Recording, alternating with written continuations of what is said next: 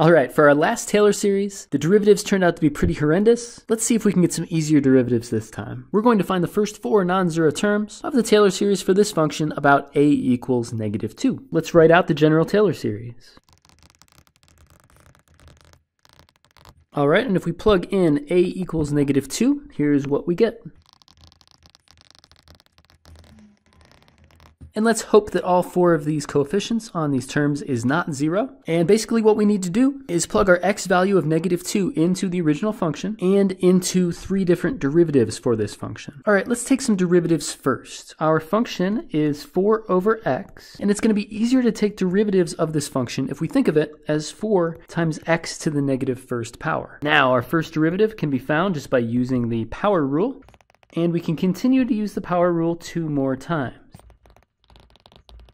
And all right, we're going to need to plug x equals negative 2 into each of these functions. And I think plugging x values into these functions is going to be easier to do if we write them out as fractions.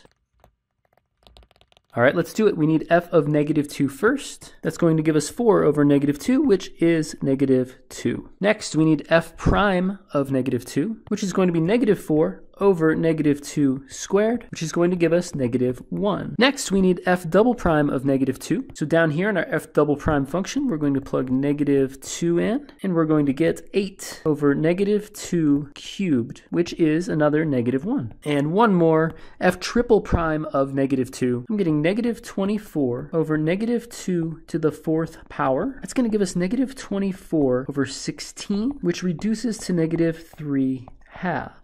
Okay, so what we're going to do next is plug each of these four coefficients into this Taylor series up here, and that is going to give us this line of work right here. And doing one step of simplification to simplify and reduce uh, all of the coefficients is going to give us our final answer. Okay, so that problem was much easier than the previous problem that we did. I'm pretty happy to end on that one. So unless you guys have some questions, that's going to be the last problem that we're going to do for Taylor series. The next set of problems that I'm going to do is going to be about parametric curves, and we're also going to do some areas in polar coordinates. Depending on the class that you take, that might be a Calculus 2 topic, that might be a Calculus 3 topic as well. After that, we're going to start talking about vectors in three-dimensional space, and that is Calculus 3 stuff for sure. Okay, I'm going to keep cranking out the videos. I hope to see you next time.